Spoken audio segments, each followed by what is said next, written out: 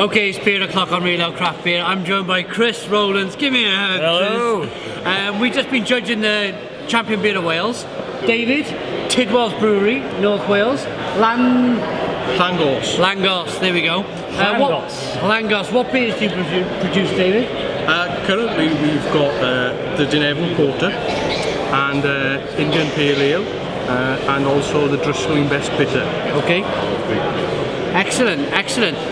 We are reviewing uh, Champion Beer of Wales. It's by Vale Glamorgan Brewery It is. and it's called Uh, dark matter. Dark Matter. So, Cheers. Iechyd da. cheers, Iechyd da. Appearance, what does the beer look like in the glass? Well, it definitely looks dark. I Yeah. mean, Yes.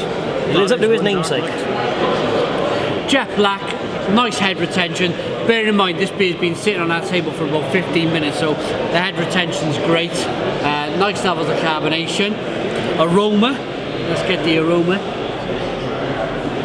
It's fruity, it's chocolatey. What do you get, David? I get a slight hint of coffee coming in there as well. Yeah, yeah. Chris, what are you getting? You're led by that dark malt, but it has got a nice fruity note that just kind of lingers you in straight away. Before you even taste it, you're thinking, hmm, sweetness. And Yeah, yeah. And a slight hint of licorice as well, I think. Yes, absolutely, absolutely. Let's dive in, lads. Cheers. Cheers. Look it up.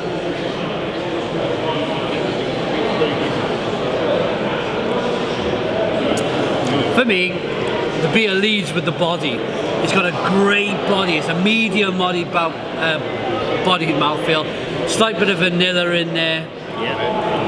It's, it's full, Chocolate. it's rich, it's got that fruity overtones throughout, Yeah. but it's not so fruity as to be cloying or overbearing. It's it's quite a well balance between the dark malts, the subtle hit and bit bitterness, but not a massive bitterness, mainly led by the fruit and the malts. And yeah, I think it's just very well balanced porter. Yeah. Hmm. Oh, yeah, what you pick up in the taste?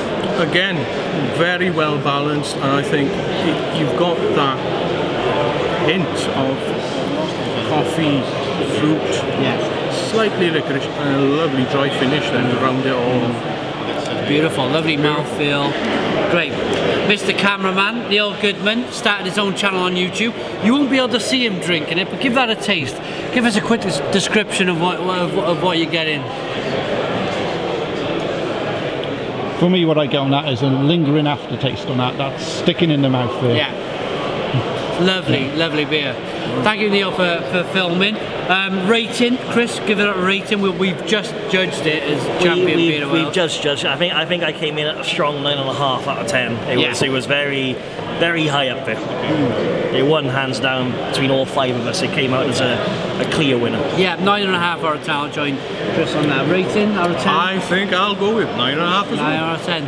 Uh, thanks for joining me. Check out Tidwell's Brewery, David. Um, check out his beers.